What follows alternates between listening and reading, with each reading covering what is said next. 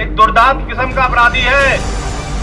चौदह एक गैंगस्टर अधिनियम के अंतर्गत जो उसने अपराध से संपत्ति अर्जित करी है, उसकी संपत्ति कुर्क की जाती है। ये संपत्ति कुर्क की गई है। इसके अलावा चार मकान और है, वो भी कुर्क किए गए हैं। यदि इनकी सील को कोई हाथ लगाता है या इसमें कोई जबरन प्रवेश करता है तो उसके खिलाफ कार्रवाई की जाएगी, मुकदमा लिखाया जाएगा। सुनो सुनो सुनो। धारा चौदह एक में गैंगस्टर एक्ट के अंतर्गत आरिफ पुत्र यामीन एक अभियुक्त। इसके खिलाफ सेक्शन 14 वन में डीएम सर के आदेश हुए हैं कि इसकी लगभग दो करोड़ पाँच लाख की संपत्ति कुर्क की जाए। उत्तर प्रदेश सरकार माफियाओं पर लगाम लगाने के लिए हर मुमकिन प्रयास कर रही है। इसी क्रम में आज बुलंदशहर जिलाधिकारी के आदेश पर एक कुख्यात गौकश आरिफ की करोड़ों की संपत्ति को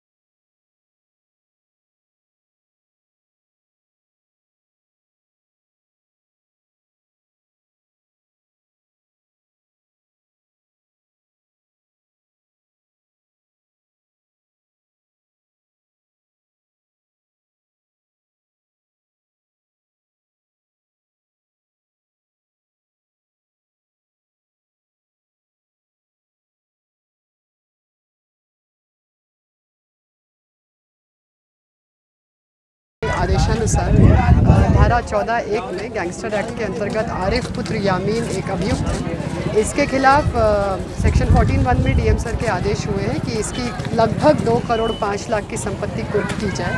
तो उसमें एक हमारे यहाँ गाँव है इस्लामाबाद, तहसील खुर्जा में।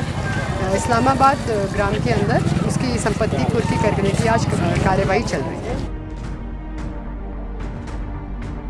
अधिकारियों की माने तो खुर्जानगर कोतवाली क्षेत्र के शेख पैन निवासी आरिफ पुत्र यामीन के खिलाफ अलग अलग थानों में गौकशी, लूट और हत्या जैसे करीब चार दर्जन जघन्य आपराधिक मामले दर्ज हैं।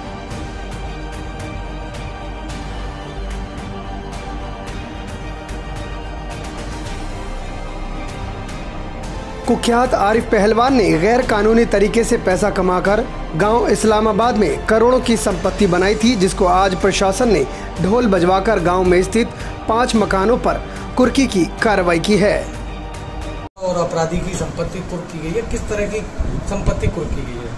देखिए ये जनपद का चिन्हित माफिया है और माफियाओं के विरुद्ध सरकार के निर्देश में लगातार अभियान जनपद में जारी है जिसके क्रम में आज लगभग दो करोड़ से कुछ अधिक मूल्य की पाँच संपत्ति कुर्क की गई है। और अन्य संपत्ति की भी हम लोग जानकारी कर रहे हैं। ये जो अपराधी है इसके ऊपर लगभग दो दर्जन मुकदमे दर्ज हैं और वर्तमान में इसमें एनएसए भी लगा हुआ है और ये निरुद्ध है। ऐसे सभी अपराधियों को चिन्हित कर इनके विरुद्ध कठोर कार्रवाई सुनिश्चित की जाएगी। टाइम 24 न्यूज़ के लिए बुलंदशहर से हामिद सैफी की रिपोर्ट। चैनल को सब्सक्राइब करें और हाँ बेल आइकन दबाना बिल्कुल ना भूलें।